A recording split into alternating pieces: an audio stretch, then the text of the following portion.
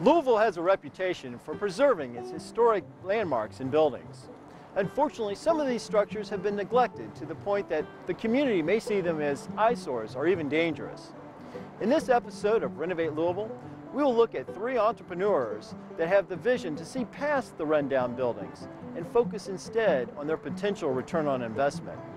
These buildings, given a new life, will contribute to our city's economic success while preserving our past. Hi, I'm Bob Keesaer, and join me as we explore the world built around you.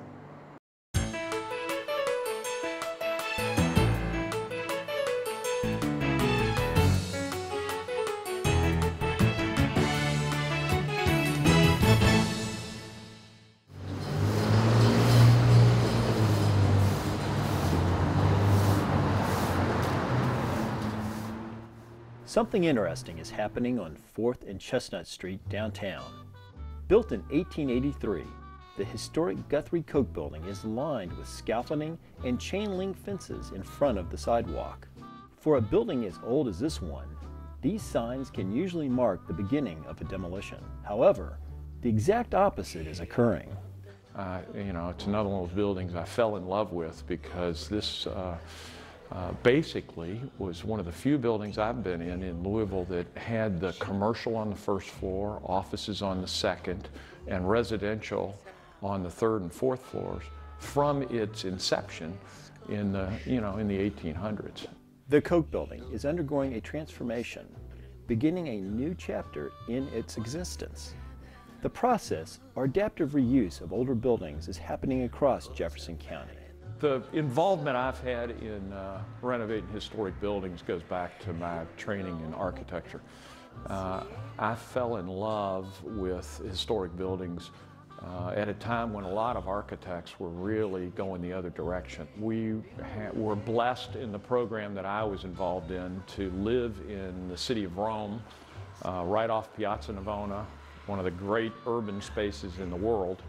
And we just were able to study how old buildings and new buildings could interact and the, the special urban environment that that created. The family that owned it uh, had it uh, multi-generationally for 105 years.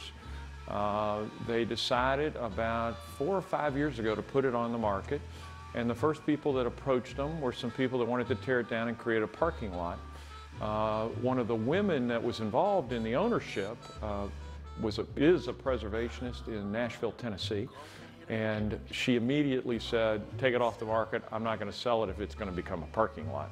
Adaptive reuse gives new life and purpose to older buildings and new uses that may never have been considered during its original construction.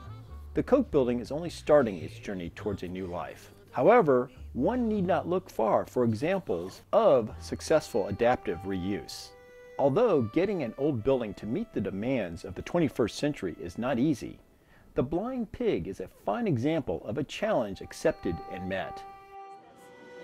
This building was always in pretty rough shape and um, it was a sixplex and quite frankly I was kind of scared to walk on the sidewalk in front of it. So it was really a dream of taking a building that was in gross disrepair and seeing what we could do with it. Looking at it today makes one believe the building was always intended to house a restaurant on the first floor with a second floor bar. Like all great tales of resurrection, the building that would become home to the blind pig looked very dead at one point. You know, in my heart, I'm a preservationist. I mean, if I buy a building, I'm going to want to bring it back to how it was originally meant to be. Things that were built 100 and 150 years ago were built incredibly. The workmanship was outstanding, the quality of materials was outstanding, and it's really fun to be able to get something that is in a really troubled state but has good bones and then have a vision for it and be able to work with people that will help you realize that vision. The industrial styling of the interior and exterior, when combined with a venue for meals and spirits, results in a quaint atmosphere that is unlike any other bar or restaurant around town. The Blind Pig has won awards. It's a wildly successful restaurant. Uh, it has helped revitalize Butchertown It was named one of the top 50 bars in the world by Drinks International.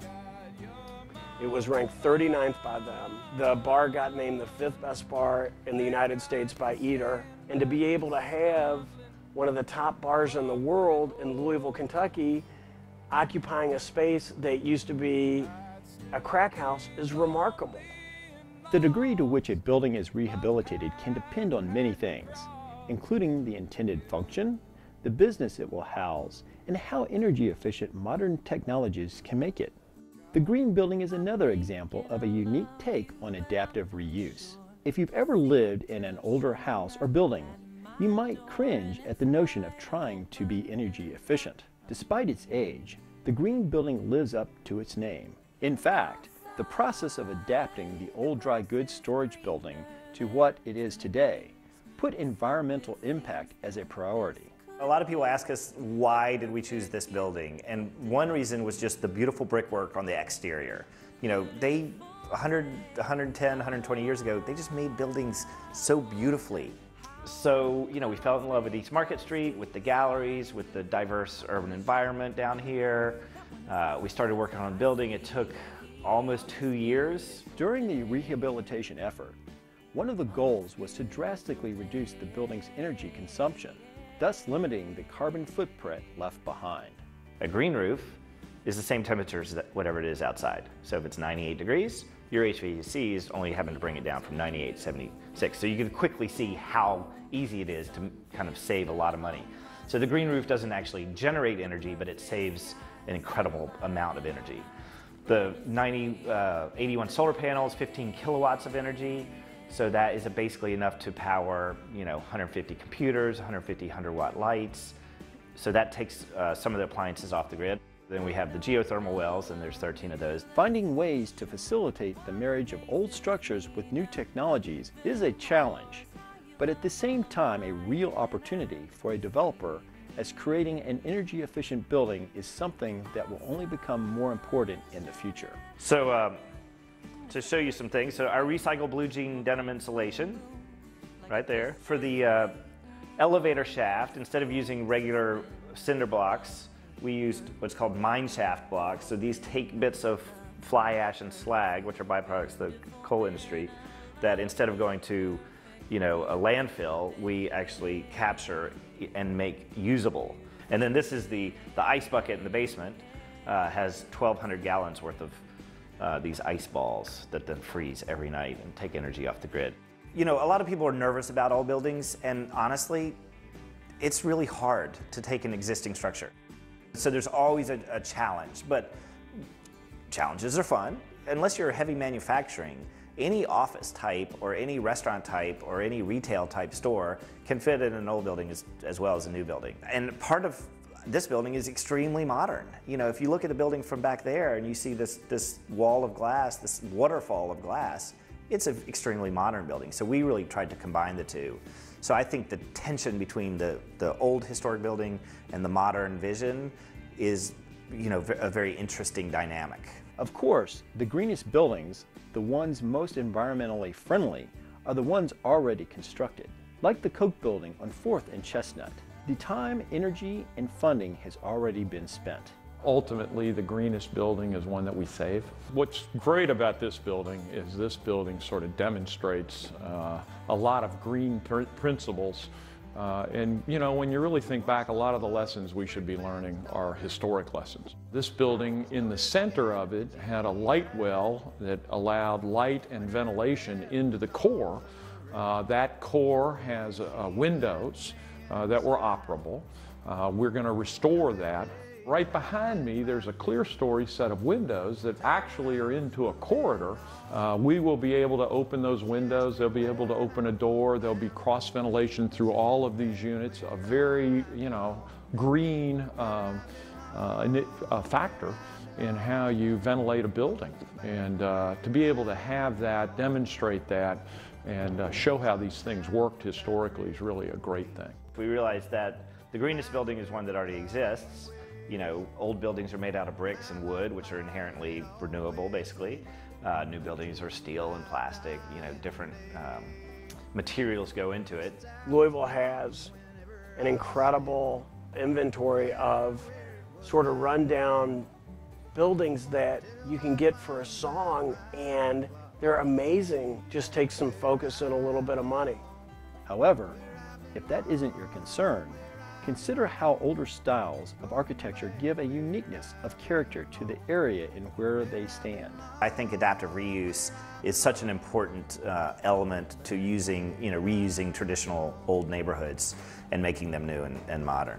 Louisville is one of the, the great towns for preservation. We have a long time history of preservation. We have some fabulous examples of preservation. We have a tremendous built environment. And Louisville is pos- prime position to be able to take advantage of all these great old buildings that we could retrofit, make green, uh, rehab, and it also preserves our history and our heritage. Louisville loves preservation, and you just got to understand it's more than just a building. You know, it's the history of Louisville, which you can't recreate.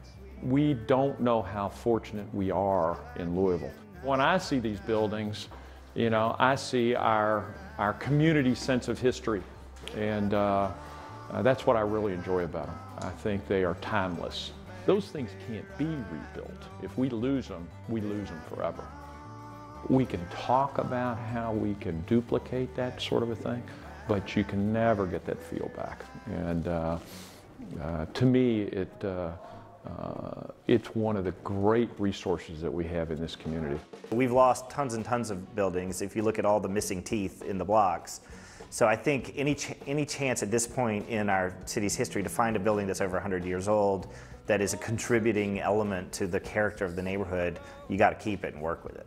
Once you tear something down that was built 100 or 150 years ago, it's gone forever. You know, and that's something that you really need to think about because it's the heritage of our city and stuff was built great in Louisville. I'm a Louisvillian and I love Louisville and this is a way that I can give back to my community and do something that I think is really positive for the community and positive for the neighborhoods. It's like, you know, if you want to make something a better place, then you need to take some action and take some responsibility and try to do it. Following the styles of architecture across the city can give anyone a sense of how Louisville and Jefferson County developed. The visual stunning history lesson erodes every time a building is lost to demolition. And granted, some demolition of older buildings is necessary. However, weeding out what is beyond saving and what must be preserved is a process anyone claiming Louisville as their home should be aware of. It was our ancestors who constructed these buildings, used them in their everyday lives, and gave them purpose. We have a glimpse at what their lives were like by simply looking at the world they were built through masonry, steel, and glass.